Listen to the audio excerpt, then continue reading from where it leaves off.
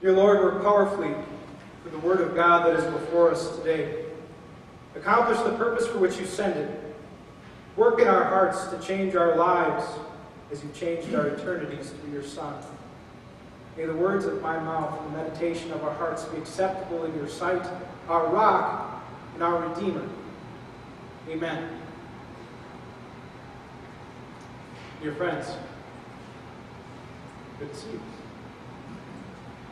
As you know, uh, spring is steadily coming as you saw the sun outside, which is great to see.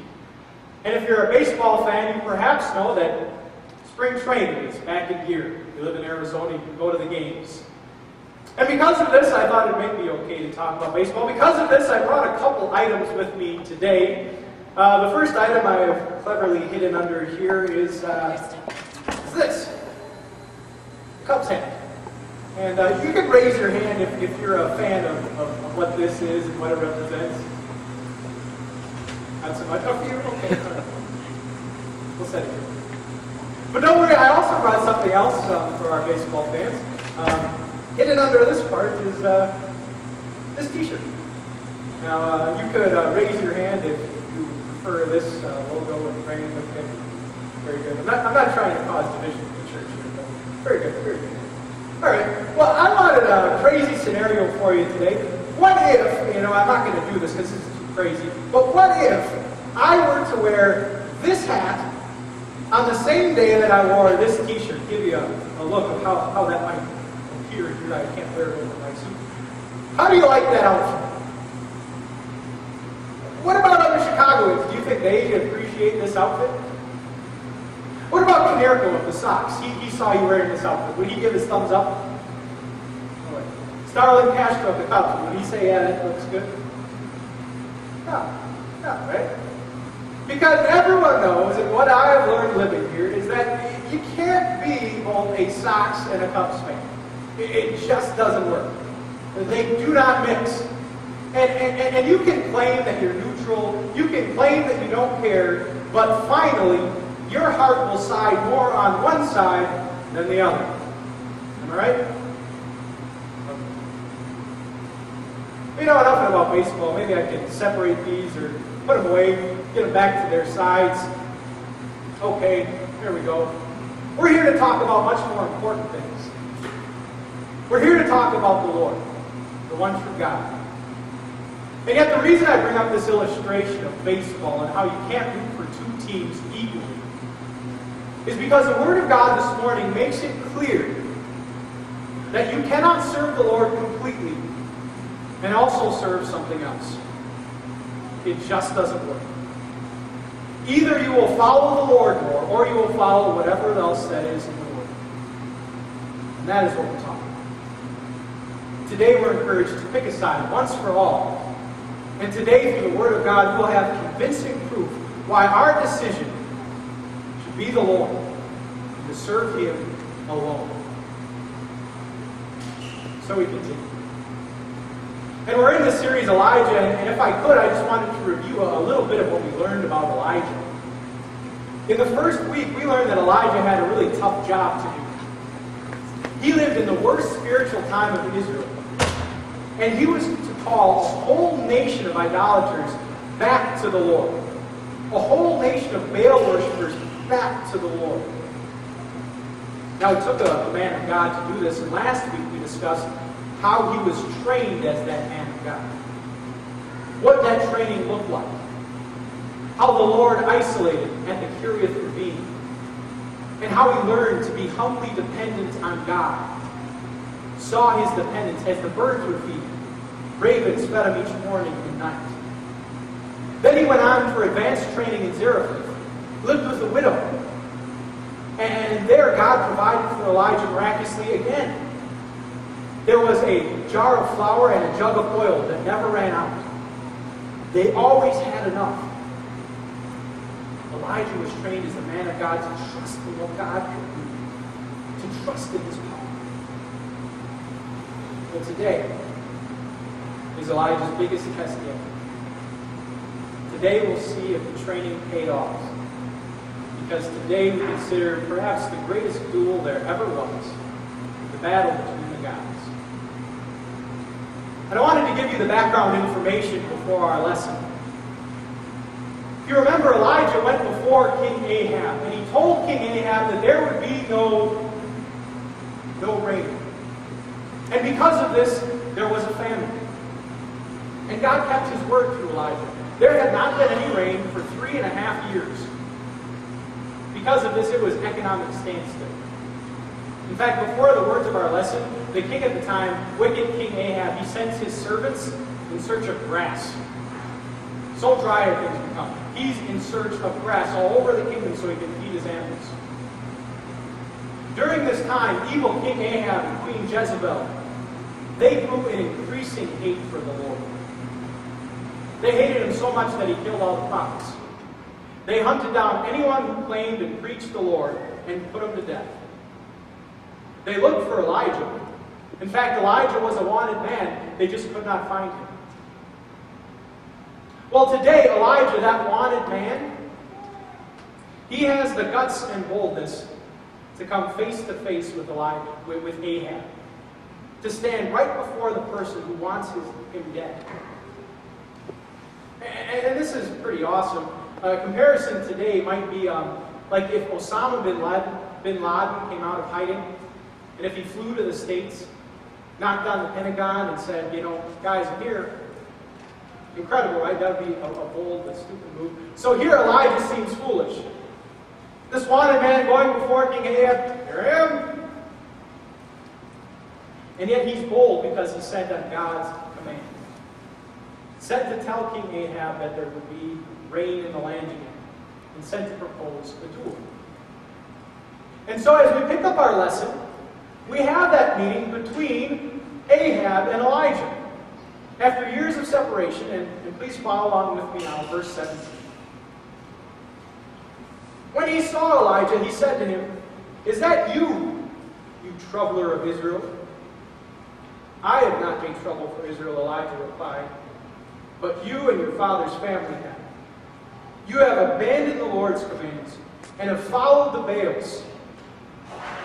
This is the word of God. Consideration there, um, Elijah's using the I'm rubber, you're glue technique. I'm not the troubler, you are. Whatever you say bounces off of me and sticks on you. And truly it was Ahab who caused the trouble. He led the people away from the Lord to serve Baal. And because of this, God sent the famine. God sent no rain. All to turn those people back to the Lord. Elijah then goes on. And he proposes his duel. Here he goes, picking it up at verse 19. Now summon the people from all over Israel to meet me on Mount Carmel, and bring 450 prophets of Baal, and the 400 prophets of Asherah to eat at Jezebel's table. So Ahab did it. He sent word throughout all of Israel, and assembled the prophets on Mount Carmel. Elijah went before the people and said, How long will you waver between two opinions. If the Lord is God, follow him. But if Baal is God, follow him. The people said, And so here Elijah gets to the heart of the problem. The people were wavering.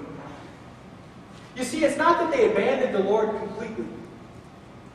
They liked the promises of the Lord, the God of Israel. After all, He gave them the land they're living in, the promised land. They liked His promise of a Messiah.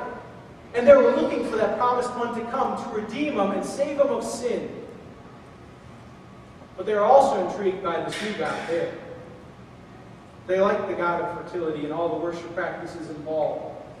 Thought it clever to, to have him credited for the seasons and the crops and the growth.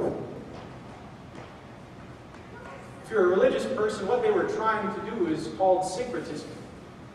Syncretism, the mixing of two different religions trying to make one. But Elijah says, hold up. Wait a second. This does not work, guys. All right? This blending will not do. You are trying to mix oil and water. You are trying to mix Cubs and Sox. This isn't going to do it. And so he says, pick one. Pick one and follow it. So, what Elijah says to the people of Israel and to us today, what he points out makes very clear is that half hearted allegiance to the Lord is really no allegiance at all. It will not do. And the Bible warns us, Jesus warns us in another portion of Scripture about this same problem. Um, Jesus put it this way He said in the book of Matthew, No one can serve two masters. Either he will hate the one and love the other, or he will be devoted to the one and despise the other. And so he cannot serve two. And so today we have a, a bit of a gut check. And today I'd ask you, what in your life has the potential to take the number one spot over God? What in your life has the potential to take the number one spot over God? Is it money? It's a familiar one in the Bible. That we do all we can to get as much as we can so that we can live well, retire early, and feel secure. Is it a career? We put all our work, all our energy into a company so that people will recognize what we have done, recognize our intelligence and brilliance, so that we might have a lasting legacy. Is it image?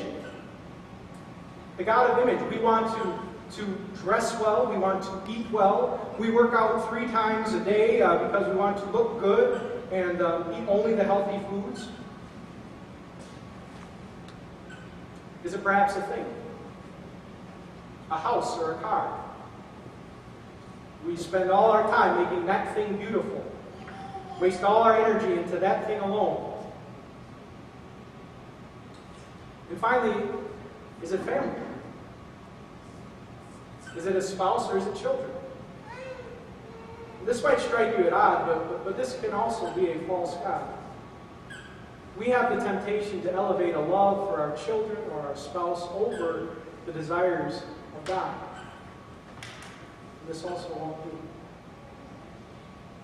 You know Elijah's message? He, he, he's bold. He, he, he socks it to us today. Elijah would basically say, if something else is God, if it really is truly God, sell out to it.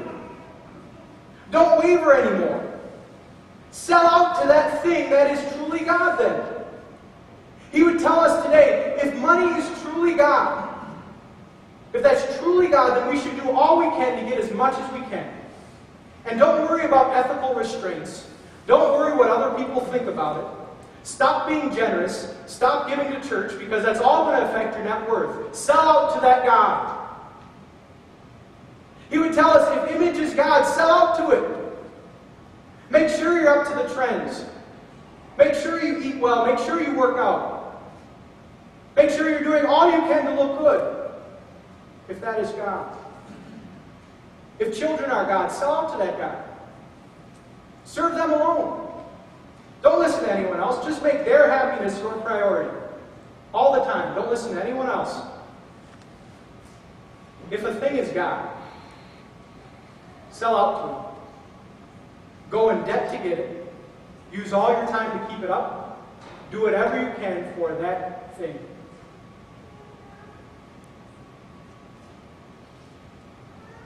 But, and this is a big but, but, if that is not God, if that thing is not God, stop wavering.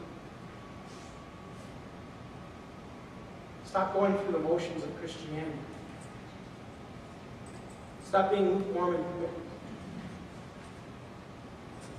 Give to the Lord all you got, every moment of every day. Live in the light of His Word, and let His Word change your life. Let His promises be your security. And let his acts of love convince you that there is no other God like him who has saved us, who forgives us so freely, and who promises eternal life. If the Lord is God, follow him. And the beautiful thing about this command is that what God expects of our lives, He has already done for you and I. You see, God has sold out for you. And I, as your pastor, am convinced that there is no person and there is no thing that has done more for you than your Savior Jesus Christ. He was the one who, who daily and richly provides all your needs. Any good thing that you have, any good pleasure you've experienced was from His gracious hand. He is the one that watches over us and protects us. He is the one that was willing to give His life for us and die in our place. Dear friends, is there anything or anyone who's done more? Anyone else who's given their life? Anyone else who's been so consistent in giving you good things? Anyone who else who, forgives so readily and accepts so freely whenever you come to Him and approach Him? Dear, dear friends, I know that you're convinced, like I'm convinced, that the Lord, He is God. And as the Spirit works in us, let's follow Him. Let's give it all we got. You know, another pastor commenting on this portion of Scripture, he had this to say about gods and false gods. Pastor Craig Groeschel said, You know, false gods promise what only the true God provides. I think there's profound truth here. False gods promise what only the true God provides. Because we look to money for, for what? Security? We look to an image for what? Maybe acceptance? We look to a career for what? Maybe impact? A legacy? We look to children for what? Maybe happiness? All of those things acceptance, happiness, security. All of them are gifts from the hand of our gracious Lord. They can be found in Him as we serve Him alone. You know, Elijah's going to go on, and now he's going to, to really prove why following the Lord is the better choice. And here's the duel. Elijah sets it up, and, and, and here's the duel. They are going to set up altars, have fire on top of the altar, cut up a bull as a sacrifice, and they are both going to pray, the prophets of God to Baal, the prophet of the Lord to the Lord. And they are asking the Lord would send fire to burn up that sacrifice. Now, the prophets of Baal thought this was a great idea. The prophet of Baal, they knew that Baal is the god of fertility. He, again, is in charge of bringing um, rain or sunshine. And so they think that the god of sunshine is able to bring fire. They're like, okay, we're in. They go first. And you want to see what happens? Please look as they go first. We pick things up in verse 26. So they took the bull given them and prepared it. Then they called on the name of Baal from morning till noon. Oh, Baal, answer us, they shouted. But there was no response. No one answered. And they danced around the altar they had made. Word of God. So they do the thing, they they got it all set up, and you could hear a pin drop. There is no response. Now, what I find next, and hopefully you'll find next, is kind of humorous what Elijah does. Um, again, they are spiritually defiant, so Elijah's not pulling any punches. Uh, defiance, um, you don't pull punches with defiance. He's laying kind of the smackdown. Um, and what he is doing next is actually religiously trash talking. I'm on my team, you're on that team. We got the better team, guys. You want to see what he does? Here we go. Picking things up, um, 27. At noon, Elijah began to taunt them. Shout louder, he said. Surely he's a God.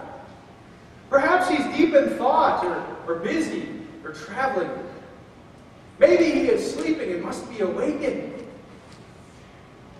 So they shouted louder and slashed themselves with swords and spears as was their custom until their blood flowed.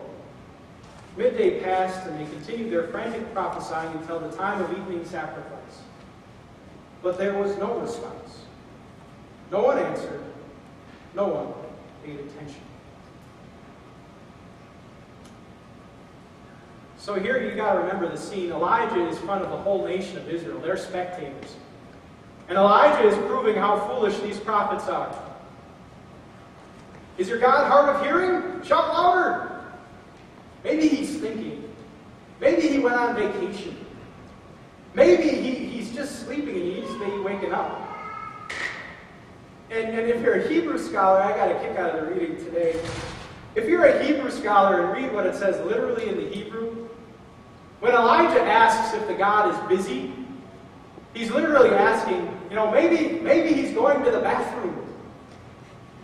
Maybe he's on the celestial John and he just has to take a moment before it gets back to you. Elijah knew how to trash talk, again, kind of funny. He's rubbing his nose in the fact of what he already knows. See, what Elijah knows is what they found out, that there would be no response. Because there was no one listening. because there is one God, and He is the Lord. You know, in the world we live in, every now and then, we see how, how foolish it is to follow false gods. And, and I won't rub your nose in it. I don't think we are spiritually defiant like they are. But maybe God has let you experience that in varying degrees. You've put all your hope, all your trust into something that wasn't God. You thought it would deliver on what you thought it was promising, but it didn't. Trusting in money, trusting in a career, trusting in someone else to come through for us. And every now and then, God gives us a glimpse that He's the only one that can do it. Again, false gods promise where only the true God provides. So the choice for us is easy. It's a clear one. We follow the Lord. And now Elijah is going to prove that point and prove the awesome power of the Lord. We conclude now by looking at what Elijah does next. I invite you to follow along the rest of our lesson. Verse 30. Then Elijah said to all the people, Come here to me. Then they came to him. And he repaired the altar of the Lord, which was in ruins. And what a sight, what a demonstration that would have been to rebuild that altar. Because again, they had torn down all the altars of the Lord. To say, this is how it should be. These are the altars of the Lord. And then with the stones he built an altar in the name of the Lord. And he dug a trench around it large enough to hold two seahs of seed. He arranged the wood, cut the bull into pieces, and laid it on the wood. Then he said to them, Fill four large jars with water, and pour it on the offering, and on the wood. Do it again, he said, and they did it again. Do it a third time, he ordered, and they did it a third time. The water ran down around the altar and even filled the trench. Now, why is Elijah pouring water on it? Well, if you know anything about fires, water and, and wood, uh, wet wood don't burn so well, right? Elijah's trying to demonstrate the power of God. He goes on, At the time of the sacrifice, the prophet Elijah stepped forward and prayed, O Lord God of Abraham, Isaac, and Israel, let it be known today that you are God in Israel, that I, your servant, and have done all these things at your command. Answer me, O Lord, answer me, so these people will know that you, O Lord, are God and that you are turning their hearts back. Then the fire of the Lord fell and burned up the sacrifice, the wood, the stones, and the soil, and also licked up the water in the trench. When all the people saw this, they fell prostrate and cried, The Lord, He is God! The Lord, He is God! And so Elijah sees the inferno that God sent answered so quickly and so powerfully it burnt up everything, including the water, including even the stones. I've never seen stones burned up, but the fire God sent was strong enough to do that. And then the people, they were left with the easiest choice in the world. Do I follow the prophet of Baal and Baal, who have delivered on nothing, who have done nothing? Or do I follow the Lord, who has shown his awesome? And they say, the Lord, he is God, the Lord. Dear friends, thousands of years later, we're left with the same choice. Yeah, the false gods' names have changed. But what is our choice? Follow? I don't know about you, but I'm going to follow the God who answers my prayer. I'm going to follow the God who sent his son to be my sacrifice. I'm going to follow the God who showed his power over death by rising from the dead on the third day. I'm going to follow the God who is above all gods, whose name is above all names, whose glory is eternal, and whose power is limitless. Yes, that's the God I'm going to follow. And through the Spirit working in me, I will devote my life to following that God. For no one else has done what he has done. No one else loves like he loves. And no one else has redeemed me. Dear friends, who are you going to choose? As the Spirit works in your hearts, you too may say, I follow the Lord. And may he give you gladness as you do that. And may he convince you regularly that he is God as he fulfills his promises to you, as he lifts you up day by day, and as he gives you all good things. For he is the Lord. Dear friends, to close, let's ask God.